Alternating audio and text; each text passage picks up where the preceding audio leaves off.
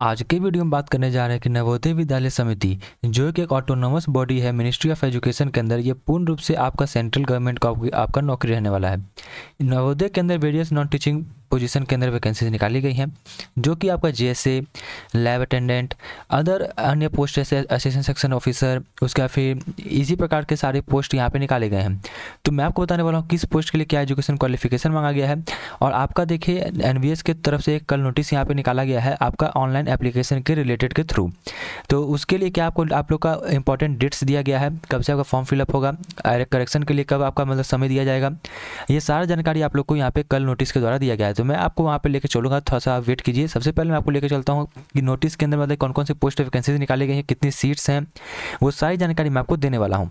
तो आप सभी से अनुरोध है कि वीडियो को पूरा देखें ताकि आपको कोई डाउट ना रहे। जैसा कि आप सभी को नज़र आ देखें एन वी एस के ऑफिशियल वेबसाइट के ऊपर आ गए हैं। यहाँ आने के बाद देखिए आप लोग को लेफ़्ट हैंड साइड के ऊपर देखिए थ्री डॉट करके यहाँ पर नज़र आ रहा होगा।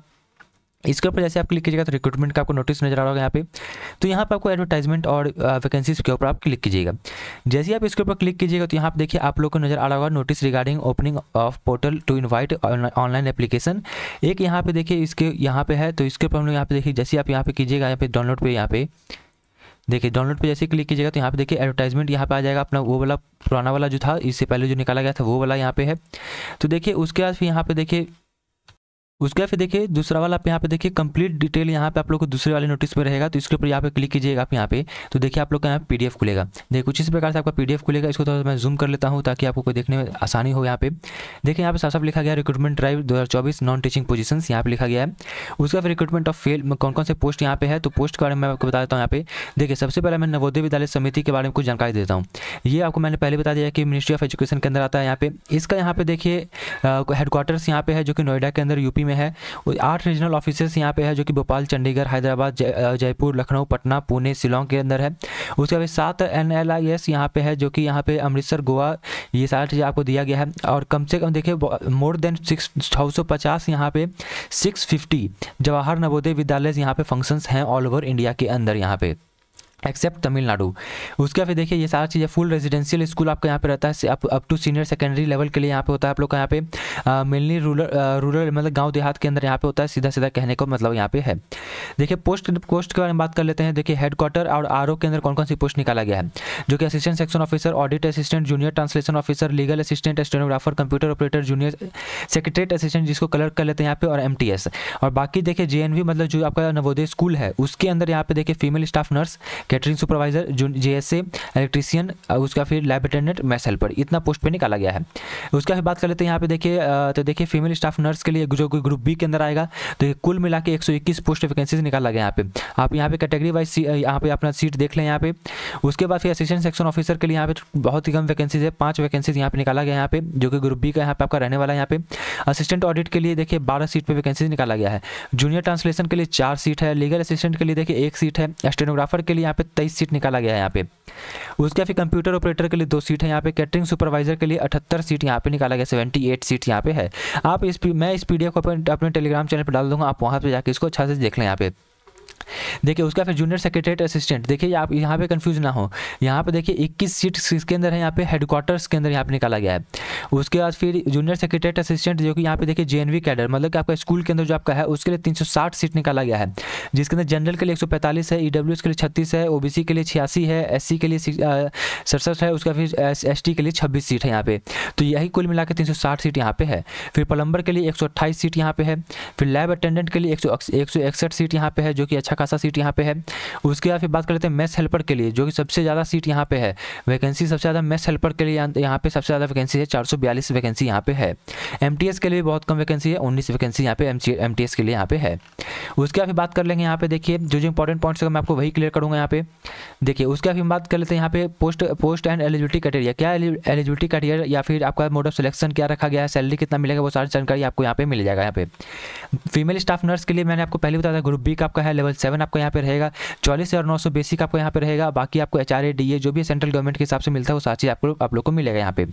इसके लिए बी एस सी ऑनर्स आपको बी एस सी नर्सिंग आपका होना चाहिए यहाँ पे। नहीं तो आपका बी एस सी नर्सिंग देखिए, post B S C nursing एक आपका होता है, वो आपका होना चाहिए यहाँ पे। ये ये तीनों यहाँ पे आप लोग को दिया गया है, देखिए। उसके फिर आपको मतलब कि रजिस्टर्ड आपका होना चाहिए, नर्सिंग मिड वाइफ या फिर आर एन या फिर आर एम के अंदर स्टेट स्टेट नर्सिंग काउंसिल के अंदर आप लोग का रजिस्टर्ड होना चाहिए।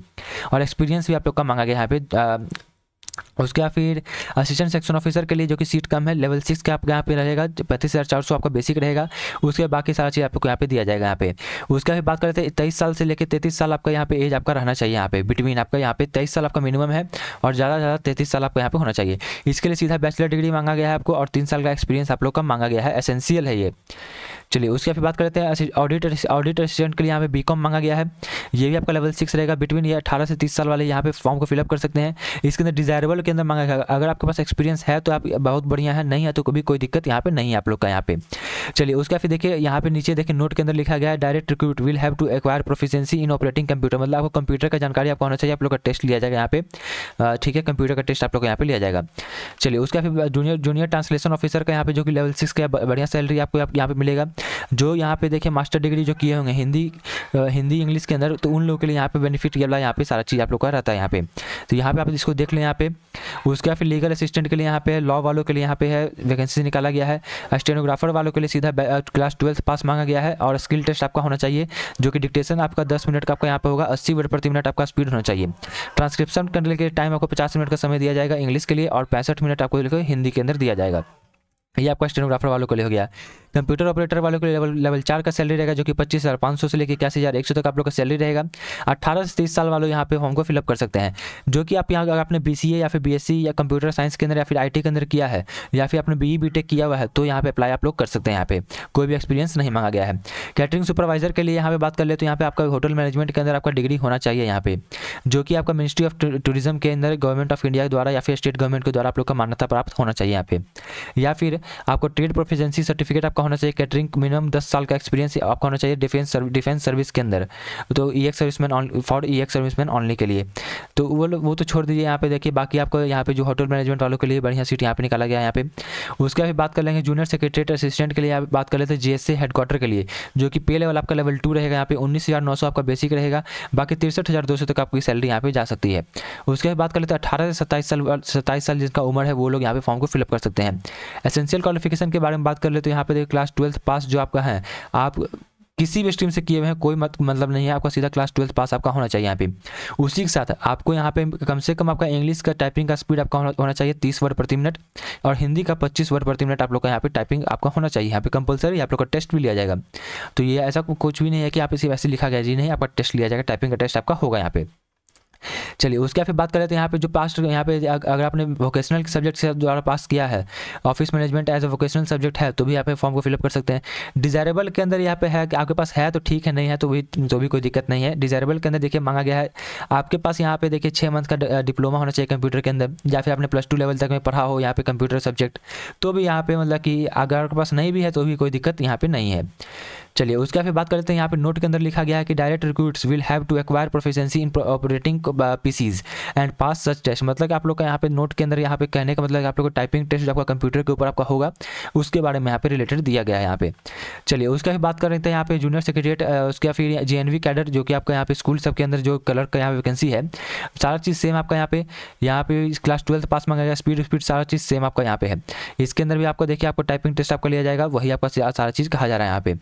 चलिए, उसके बाद इलेक्ट्रीशियन कम प्लम्बर प्लम्बर के लिए देखिए लेवल टू का सैलरी आप लोग को यहाँ पे मिलेगा, जो कि उन्नीस हज़ार नौ सौ लेकर तिरसठ हज़ार दो सौ तक आपका सैलरी रहेगा। अट्ठारह से चालीस वर्ष तक यहाँ पे देखिए, बहुत ही एज लिमिट देख लीजिए यहाँ पे। 18 से 40 वर्ष तक के लोग यहाँ पे देखिए अप्लाई कर सकते हैं। क्लास टेंथ पास आपका होना चाहिए। आईटीआई आईटीआई का सर्टिफिकेट आपके पास होना चाहिए और कम से कम दो साल का एक्सपीरियंस यहाँ पे मांगा गया है। कंपलसरी आप लोग का किया गया यहाँ पे। लैब अटेंडेंट के बारे में बात कर ले तो लेवल वन का सैलरी आपका रहेगा, जो कि आपका देखिए अठारह हज़ार से आपका बेसिक आपका स्टार्ट होगा यहाँ पे। सिंपल क्लास टेंथ पास मांगा गया है सर्टिफिकेट या फिर डिप्लोमा अगर आपके पास होना चाहिए यहाँ पे लेबोरेटरी टेक्निक के अंदर। या फिर क्लास ट्वेल्थ अगर आपने साइंस के साथ पास किया हुआ है तो भी आप यहाँ फॉर्म को फिलअप कर सकते हैं। उसके बाद बात करते हैं मैथ हेल्पर मैथ हेल्पर के लिए लेवल वन का सैलरी आपका है अठारह से तीस वर्ष वाले यहाँ पे अप्लाई कर सकते हैं। क्लास टेंथ यहाँ पे मांगा गया है। पाँच साल का एक्सपीरियंस आपके पास होना चाहिए और स्किल टेस्ट आपके पास होना प्रिस्क्राइब जो नवोदय के द्वारा किया जाएगा वो आपको पास होना चाहिए यहाँ पे। पास करना होगा आप लोग को।